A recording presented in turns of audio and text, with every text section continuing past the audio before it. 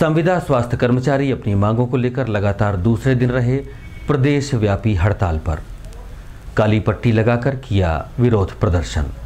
प्रदेश भर के संविदा स्वास्थ्य कर्मियों के साथ रीवा के भी संविदा स्वास्थ्य कर्मी अपनी मांगों को लेकर लगातार दूसरे दिन भी प्रदेश व्यापी हड़ताल पर रहे। जैसा कि हम आपको पहले ही बता चुके हैं, संविदा स्वास्थ्यकर्मी चाहते हैं कि जिस तरह से शिक्षकों, गुरुजी और पंचायत सचिवों को नियमित किया गया है। ठीक उसी तरह उनको भी नियमित करके वे सभी लाभ दिए जाएँ, जो अभी हाल ही में नियमित हुए लोगों को दिए जा रहे हैं।